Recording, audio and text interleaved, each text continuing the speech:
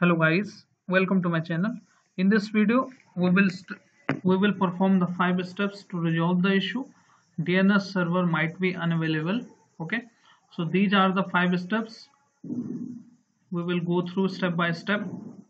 The first step we need to make sure that DNS client service is running or not okay?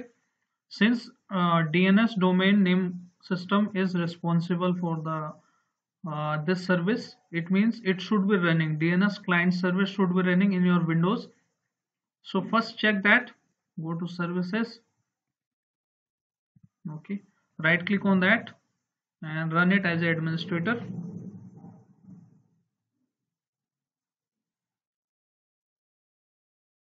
Then look for DNS client okay? Press D and look for DNS client okay DSCP this option DNS client okay. Make sure it is running. Double click on that. And if it is stopped you can start it. Click on apply okay. And check if your issue is solved or not. If still running we can move to the second method okay. In the second method we will set the automatic configuration of DNS how to perform this step? Click on this option the Wi-Fi icon. Click on network and internet setting.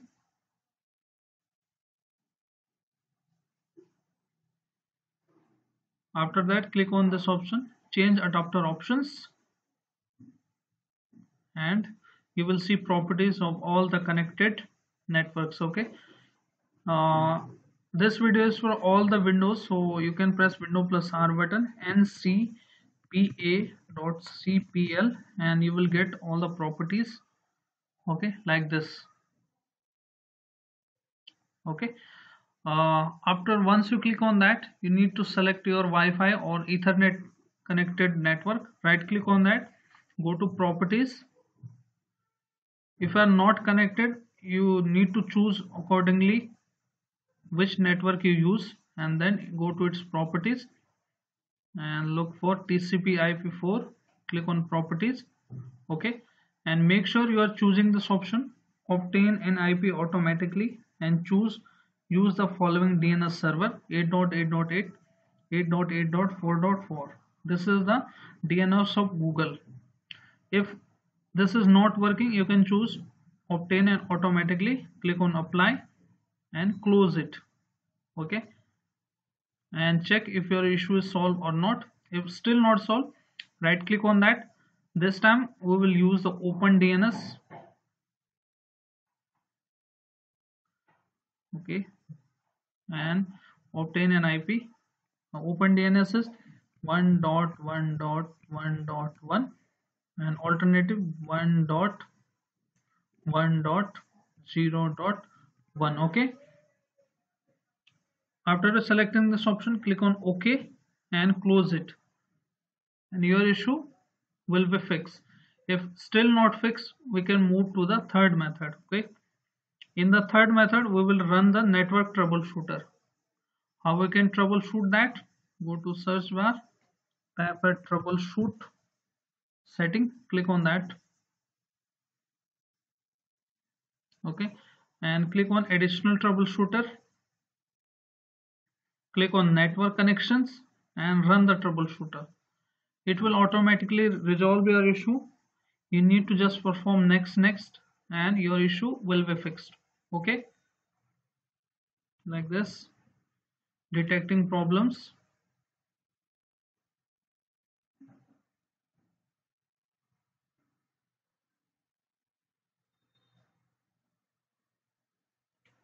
and once it is finished you need to choose this option network adapter and also run the troubleshooter again. And hopefully if anything misconfiguration happened in your windows it will fix it. If uh, this is the higher level problem this is the higher level problem we can hit these commands okay? In order to reset the DNS we need to hit these commands. So how we can uh, hit these commands? Go to cmd okay right click on that. Run it as administrator. Click on yes button when the prompt opens. And you will get these command in my description box or you can visit my website. So the first command is ipconfig space slash and flush dns okay?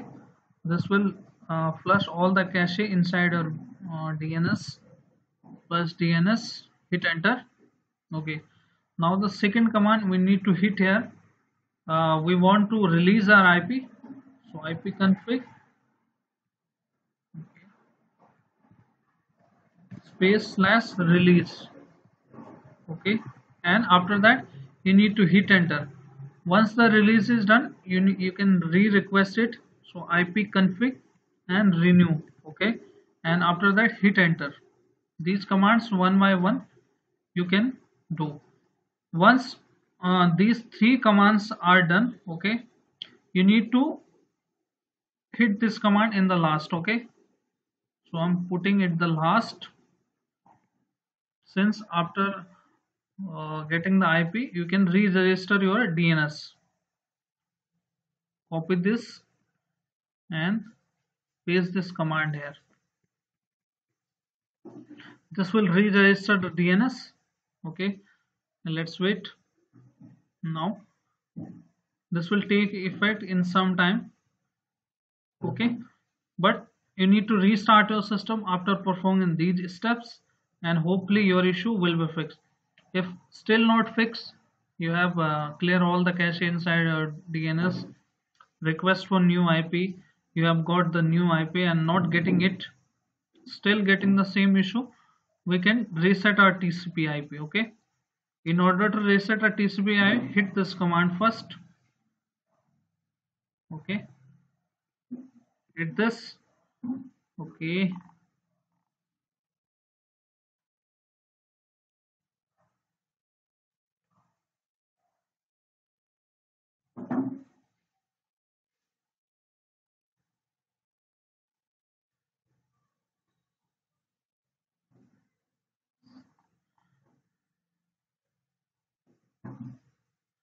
after that you need to hit this command. This is not running. Above command is not running on my window. So leave it. If in your window it is running okay. Then the last command you need to type here this will reset all the socket errors. After that exit out from the command and restart your system. Your issue will be fixed. So hope these five steps are working on your windows. So your if your issue is fixed then hit like subscribe and share thank you. Thanks for watching